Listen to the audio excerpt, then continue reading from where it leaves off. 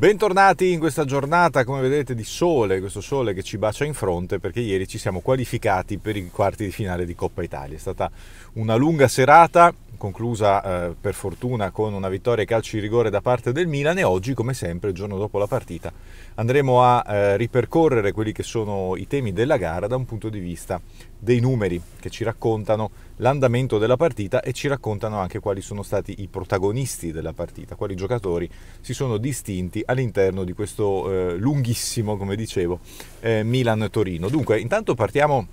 col discorso possesso palla che è un dato diciamo relativo ma ci dà un'idea dell'andamento della partita. Possesso palla sostanzialmente eh, equamente distribuito, 51% Milan, 49% Torino sulla somma totale della partita, però l'andamento del possesso palla ci dà l'indicazione di come il Milan eh, abbia eh, progressivamente aumentato il possesso palla nel corso della gara. 45-55 nel primo tempo per il Torino, 49-51 nella ripresa sempre per il Toro, nei supplementari poi 65% a 35% eh, per noi. Eh, un altro dato che dà l'indicazione di come il Milan abbia eh, sostanzialmente eh, meritato la qualificazione, di come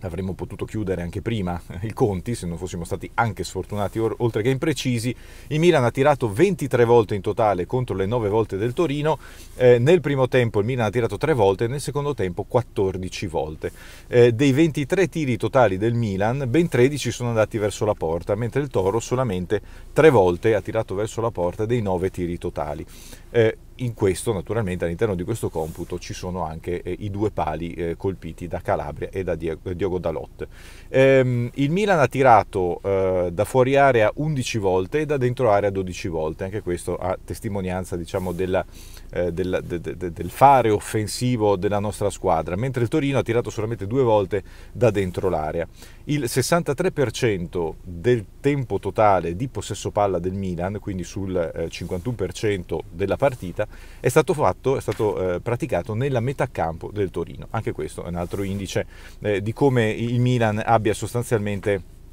eh, dominato da un punto di vista di eh, propulsione offensiva. Il Milan sappiamo che non è una squadra dalle altissime percentuali di possesso palla perché pratica un calcio veloce, un calcio che vuole eh, arrivare il prima possibile ma senza ossessionarsi, cioè attraverso la ricerca dei movimenti e degli spazi, dalle parti della porta avversaria. Eh, a dimostrazione di come il Torino abbia impostato la partita eh, abbiamo un, un dato che è quello dei passaggi lunghi. Per il Toro sono stati 54, il Milan invece ne ha effettuati solamente 29. Eh, anche a completamento eh, di questa analisi ci sono eh, i passaggi, passaggi completati, 211 per il Milan contro i 63 del Torino. Il giocatore più preciso per quel che riguarda eh, la partita è stato Sandro Tonali che ha completato il 91% dei passaggi. 82 su 90 e questo diciamo, dà ancora di più risalto alla quella, quella che è stata, come ho detto ieri sera, probabilmente la migliore prestazione di Tonali con la maglia del Milan e di come abbia, eh, diciamo, come, come, questi numeri confermino anche la sensazione che ho avuto ieri,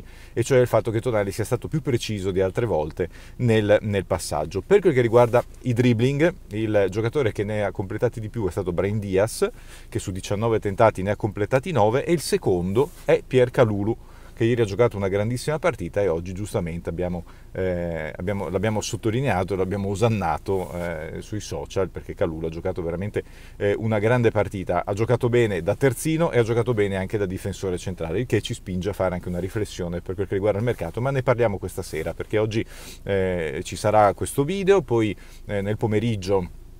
parleremo eh, della situazione dell'Inter, faremo un po' di chiarezza perché chiaramente riguarda eh, anche noi di riflesso eh, e poi questa sera parleremo di mercato, parleremo anche di Leao, parleremo un po' della situazione del Milan in evoluzione. Ehm, per quel che riguarda eh, i contrasti vinti, il giocatore che ne ha vinti di più è stato sempre Brain Diaz, che ne ha vinti 9 su 18, quindi il 50%, mentre Calulu, Pierre Calulu, ha dominato per quel che riguarda la classifica dei duelli aerei vinti, ne ha vinti 6 su 9, a riprova dell'ottima partita del giovane francese. Il giocatore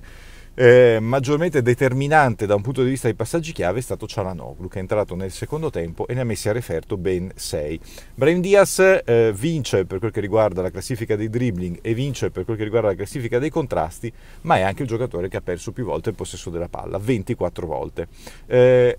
Questo è un dato che chiaramente fa parte del bagaglio di gioco del, del ragazzo, il, il voler, eh, come dire, fare, eh, cercare spesso la giocata, sia da un punto di vista di dribbling, sia da un punto di vista di passaggio. Quindi questo dato è un dato che sicuramente è negativo in senso assoluto, ma non se contestualizzato eh, in quelle che sono appunto le caratteristiche di Brain Diaz. Eh, il fatto che sia anche il giocatore che ha subito il maggior numero di falli, ne ha subiti 5, è chiaramente un dato importante perché eh, il giocatore che subisce molti falli porta poi anche alcune volte alla munizione dell'avversario, quindi un dato importante importanti. Il giocatore che ha tirato più in porta per il Milan è stato Davide Calabria, altro eh, rigenerato completamente in questa nostra eh, meravigliosa stagione che ha tirato tre volte verso eh, la porta. Il giocatore che è stato meno coinvolto dal punto di vista di manovra è stato Leao, che è quello che ha toccato la palla meno volte di tutti, di tutti i giocatori che hanno giocato almeno 90 minuti, ha toccato solamente 35 volte il pallone. Eh, Maluccio, possiamo dire, eh, da esterno, ieri sera meglio, per meglio dire più coinvolto eh, come centravanti e anche di questa cosa parleremo questa sera perché mi sono fatto un'idea. Veniamo alle, ai dati relativi alla corsa. Il giocatore che ha corso di più per il Milan è stato Sandro Tonali, anche questo dato ci conferma che non solo è stato più preciso rispetto al solito ieri sera, ma anche da un punto di vista di condizione fisica, l'impressione che abbiamo avuto tutti è stata proprio quella di un Tonali in netta crescita. Ha compiuto 15 km davanti a Dalot, che è poco meno, 14,9, poi il solito Pier Calulu, 14 km e mezzo. Calulu che tra l'altro ha vinto la classifica dello sprint, perché è il giocatore più veloce, 32 km all'ora davanti a Tonali, 31,9. eh, il Milan, eh, beh, insomma, questo dato ve lo riporto, ma insomma è relativo. Il Milan ha tenuto una velocità media di circa 7 km contro il 6,7 del Torino. Dal punto di vista di disposizione tattica in campo,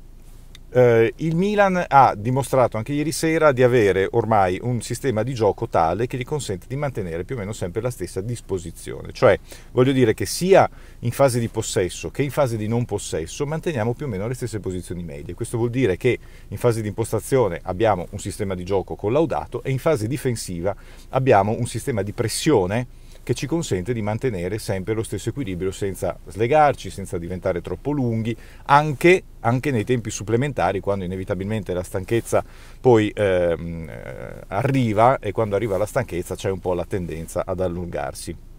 Come vi dicevo, eh, il Milan eh, è rimasto corto e compatto